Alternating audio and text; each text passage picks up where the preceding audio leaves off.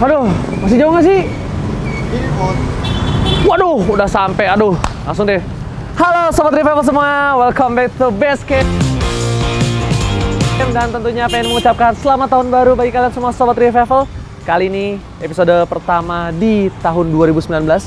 Kita mau ke Infinity Mineski. Oh, kebalik. Mineski Infinity. Mau tahu keseruannya kayak gimana? Langsung aja ikutin gua. Hmm, kita masuk ke dalam. Aduh, udah deh, tanpa berlama-lama, ngapain sih depan panas-panas langsung ke dalam aja yuk. Langsung yuk. Kita masuk ke warnet Mineski Infinity. Wah, wih, gila. Ini ada pemain Mobile Legends loh. Waduh, ketemu kita nih. Dia lolos masuk ke qualifier final ya? Oke, good luck buat exchange ya. Wah. Ketemu Toglo. Waduh. Dada dulu dong, dada dulu, brother. Wih, bisa. Halo Cimoza, hati-hati ya. Wah, rezeki anak soleh. Niatnya mau review warnet, eh ketemu pro player. Udah deh, kita langsung masuk ke warnet Mineski Infinity ya. Aduh. Hah? Mau ke mana? Warnet, Warnet di sini. Nih, Mau nyolong baju. ini ngapa ada pintu di sini? Oh, Lo mau juga ganti, gantiin manekinnya nggak? oh, jangan dong, banget. Harus kerja saya. Bentar ya, gue mau belanja aqua dulu. Oh, kalau belanja kayak gimana nih? Bisa pakai kartunya dong. Wih, gila, keren. Namanya. Itu kayak kartu ini ya, eh, pengganti duit cash ya? Nah, bener, bener. Waduh. Tapi Edelin sapa-sapa dulu dong sobat revival di sana. Halo. Hai, Edlin di sini mau nemenin. Ya. Kita hari ini Ranger Mas akan ditemenin seorang Edelin. Akhirnya ya. Emang si Raffi doang waktu itu mau syuting sama Edelin. Ranger Mas juga mau lah, ya nggak? Nah, di sini ada pembayaran yang cukup unik di Mineski Infinity. Kenapa? Karena dia bisa bayar pakai kartu tanpa bawa duit cash. Dan ini bisa bayar semuanya kalau yang di sini. Bisa bayar semuanya? Ini bisa, makanan bisa, Indomie juga bisa. Ah, bohong loh. Bisa. Bener, coba tunjukin dong kartunya. nah, Nomornya jangan dikasih lihat. Oh nih, nih, ini adalah salah satu kartu. Ah sebutnya apa nih? Pondokart. Pondokart. Pondokart. Ah, gini brother semua, kalau kalian mau top up, kalian harus datang ke Mineski-nya, langsung top up dengan kartu Pondokart kalian. Jadi easy banget ya kalau mau main di sini ya. Jadi bisa langsung main juga habis itu. Wah, bener-bener nih. Nggak ada alasan buat lo semua nggak main di Mineski Infinity lah pokoknya. Bukan cuma di sini doang kok, kalian juga bisa beli peralatan gaming juga yang dijual di sini. Oh, jadi bukan hanya buat makan, buat main, tapi bisa beli peralatan gaming. Bisa. Kok lengkap banget sih di sini? Tetap pakainya juga. Waduh, nah ini pas banget nih karena ada Edel, gue pengen culik Edel dulu. Lo harus temenin gue jalan-jalan untuk keliling Mineski Infinity ini. Siap. Oke, Uh, mantap. Kita ke mana dulu nih Del? Kita lihat revisinya dulu kali ya. Ah, sikat.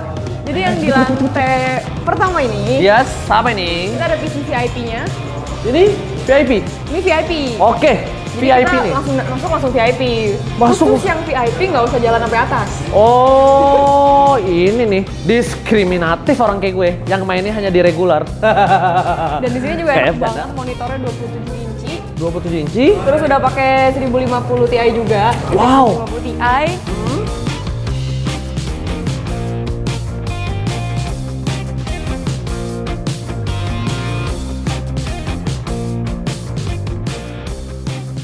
bangkunya langsung dari Mineski Gear-nya nih. Langsung. Eh, Wih. iya nggak sih? Oh iya dong. Iya juga. Iya dong. Nah, tapi Edel, Lu nggak berhentiin. Kenapa? gue numpang duduk ya. Coba ya. Enak kan? Wah, nyaman banget sih. Tetap. Jadi kalau Ah, misalnya lu main di sini sampai 12 jam juga nggak bakal pegel. Iya sih, nggak bakal pegel. Juga nggak sih empuk banget bangkunya. gue ngerinya nggak pulang sih kalau gue main di sini nih. Nggak apa-apa nggak usah pulang. Makanan ada, Makanan ada, komputer ada, komputer ada, air ada, air ada. kopi ada. Gue tahu yang ada satu. Pacar. Iya. Kayak kalau ada pacar yang prit-prit bayarin billingnya. Woi. Nah, kita langsung aja ke ruang VVIP dari Mineski TV. Eh, kita langsung aja ke ruang VVIP dari Mineski Infinity. Tapi nih, ada yang aneh nih. Dari sisi kiri ada siapa nih? Oh. Om Yur, apa kabar? Gila di sini ketemu Om Yur. Apa kabar? Baik. Baik, baik. Media deh. Aduh, dia lulus aku. Halo Kolia, ada Kolia juga from Singapore. Halo Kolia, how are you? This is Kolia from Singapore. Say hello to uh, Sobat Revival. Say Sobat Revival. Hello Sobat Revival. Dulu. Oh, sabar revival. Ya, Sobat. Sobat. Ya, oke, Sobat. Revival. Ya, halo Sobat Revival. Oke, thank you Kolia. Good luck for Revival ya. bye bye. Wah, kita ketemu banyak ya? banget pro player. Rame ada apa sih hari ini? Hari ini lagi ada media day. Lagi Buat ada media MPL. deh buat MPL. Yaudah deh, tapi nanti itu aja ya. Ngomongin belakang. Kita mau ke ruang VVIP dulu. Let's go. Nah, ini apa nih? Ini nih yang lo bilang nih, tempat Ini, sultan nih. Tempat sultannya. Hmm, nggak- ada di pencet kan di dalam? ya? Ada apa? di nggak ya di dalam? Wah, itu salah game kayaknya. Nggak salah game. Nggak pakai PC kalau yang itu. Nah, gue udah duduk di tempat VVIP dan hmm, gue pengen coba ini boleh nggak Del? Boleh lah. Boleh. Game apa? Game apa? Tuh banyak tuh game di depan. Ah, nih aja deh yang paling berat nih. Ini apa nih? Oh, PUBG. Emang bisa main? Ya, lo nggak tau gue siapa? Ya itu dia, bukan siapa-siapa. Aduh, Login ini duluan. nih problemnya nih. Ah, tolong Pak Raffi, masuk langsung sini, sini. Masuk frame dulu ya nih. Tolong, tolong. Jangan jangan blocking dong, jangan blocking. Tolong, tolong, jangan Enggak, enggak. blocking. Pertanyaannya nih, dia punya PUBG-nya nggak? Punya dong. Oh, iya siap. nah. A few moments later. Nah, ini gue bakal nyobain main PUBG PC.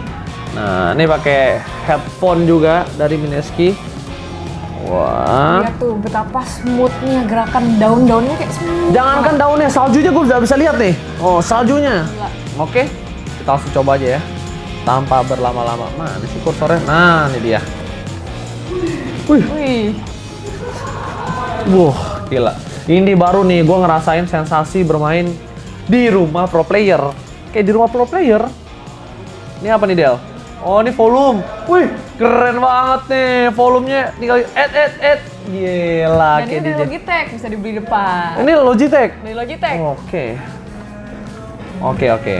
Nah, kita lagi mau coba buat main PUBG di map Sunhook. Tentunya samping gua ada Edel nih. Edel bisa main PUBG gak? Enggak. Oh, Edel enggak. Apalagi gua. bisa kalau ngatain orang. Oh, tenang. Gua cocok banget dikatain. Pas. Kita, kita udah lihat ada orang di situ. Gila-gila gayanya udah kayak pro player banget nih. Wah! Bilangin. Aduh! Berapa detik nih? Aduh! Kayaknya belum nyampe 15 detik yang lalu sih. Satu menit. garap. Ah. Aduh, emang gue tuh nggak cocok banget buat main, tapi gue udah ngerasain sih enaknya main di tempat VVIP ini. Tapi Tapi yang paling penting dari tempat VVIP ini Apa tuh? lebih ke VGA-nya ini 1060. satu kosong, 1060. satu kosong enam kosong, oke? 1060 maksud gua. Ah, 1060, oke. Terus Terus layarnya tuh udah 144 Hz. 144 hertz. 144. Detail banget dong. Detail banget. Oke, terus? Jadi emang cuman di sini doang kita bisa ngerasain detail kayak gitu. Yang VIP sama reguler nggak bisa. Oke, oke, oke. Jadi kayak gitu ya. Terus di sini RAM-nya juga 16 GB. RAM-nya 16 giga. Waduh. Jadi kalian mau main game berat apa aja di sini bisa. Wow, oke oke. Nah, ini adalah contoh nih kalau kalian semua mau lihat. Ini kita bakal eh, kayak spektator salah satu player PUBG. Lihat sesmooth itu permainan yang ada di 144 Hz ya. Yang maksudnya ditampilkan di 144 Hz. Oke. Jadi gerakan kecil aja kelihatan. Oke gitu. Edelin, masih ada lagi nggak sih selain VVIP dan VIP ini? Jadi ada reguler. Masih yang ada paling reguler. murah. Apa? Yang paling murah di atas. Oke, paling murahnya berarti 4000 ya? 4000, tapi tetap bisa dimainin enak. Tetap- Oh, tetap. gue mau ngecek boleh nggak nih? Let's go. Oke, let's go. Ya, ini nggak usah dimatiin nggak apa? Gampang. Wih, easy peasy lemon squishy. Oke, oke, oke. Kita ke mana nih sekarang? Langsung naik aja tuh, tangganya di Langsung sana. naik aja. Oke, oke. Kita langsung naik aja. Jadi kalian semua yang mau beli jaket Mineski, t-shirt Mineski, itu bisa langsung di kasir. Nah, kalau nggak salah t-shirtnya itu di kisaran harga Rp120.000 untuk satu t-shirt tulisan Mineski, oke? Tawan gue kan? Hebat gak gue? Nah, ini eh, adalah PC regular dari Mineski Infinity, tapi sama aja enaknya.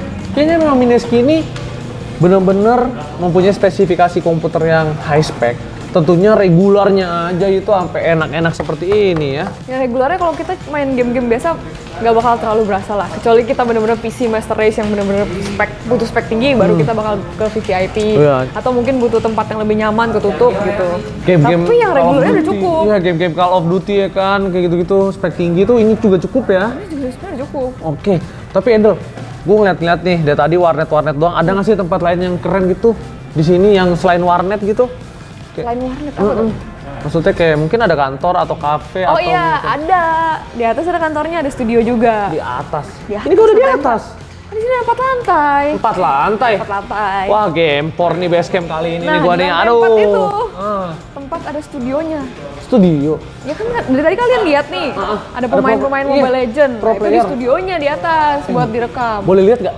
Yuk, Bener nih. Yuk. Waduh. Gua ke kantor Mineski nih. Belum pernah nih. Ya. Buruan kali. Masa lu badan gede gitu aja udah capek sih. Aduh, kebanyakan makan jengkol nih gua. Aduh. Ah. Ini lantai empat, Del. Ya udah sih. banget nih. Ya udah gua juga sama. Eh, ini pesawat luar angkasa tuh bukan sih? Keren kan? Wah, keren banget. Wah, ini emang lambang Mineskinya nih. Ayo deh. Ayo kita jalan-jalan, Del. Ayo. Eh. Hah? Gue ada kerjaan sih, jadi gue tinggal dulu ya. Lu keliling-keliling aja dulu sendiri ya. Del, Del, Del, Del. Del. Wah. Di mana nih? Waduh. Di mana sih? Dibilang kayak kantor, nggak kayak kantor. Ini siapa aja nih? Nah, kalau nggak salah di sini tuh ada Bang Yota nih. Coba gue cari ya. Bang Yota. Bang. Mana sih? Mas, mas. Lihat Yota nggak Yota? Aduh, ya mana ya? Tadi ada di sini, kurang tahu. Aduh, mana sih nih? Di depan sana ada nggak ya? Ini apaan sih kebuka? Loh! Mas ngapain di sini sih, Mas? Ini rumah gua? Lah, gue baru tahu Mas Yota di sini tinggalnya. Iya. Waduh. Tumben nih ke sini, ada apa nih? Ah, gue lagi review nih. Terus tadi gue ditinggalin Edel di situ. Ya. Aduh. Katanya mau ada shoot-shoot apa sih? Ada photoshoot apa sih? Jadi kita lagi ada photoshoot buat tim-tim Mobile Legend, Wih. buat MPL. Wih. Boleh lihat gak? Boleh? Oh, tos dulu dong, apa kabar bang? Lumayan. Nih, senior gue nih, ah. Oke, langsung. Mas Yota, kita ke mana nih? Kita sana. Kita sana. Oke.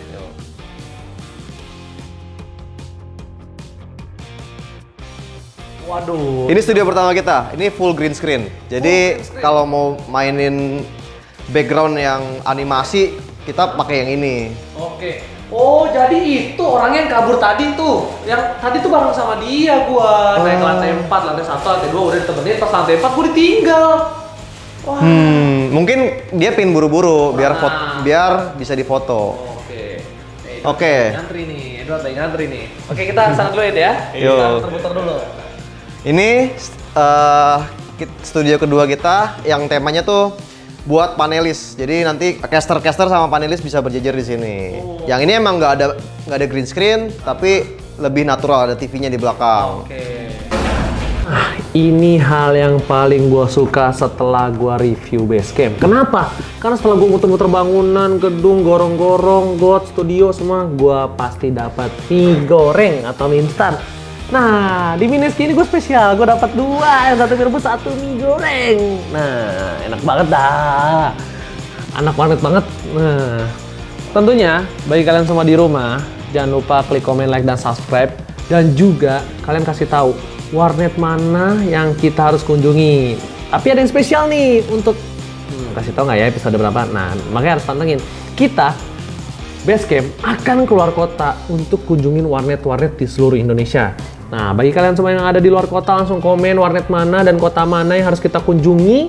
Kita datang ke, ke sana. Kalau bisa, kalian semua juga datang ke sana. Kita ketemu bareng, kita ngobrol bareng. Dan tentunya gue berterima kasih banyak udah nonton Basecamp episode kali ini. Mohon maaf kalau ada banyak salah kata. Gue Ranger Mas, sign out.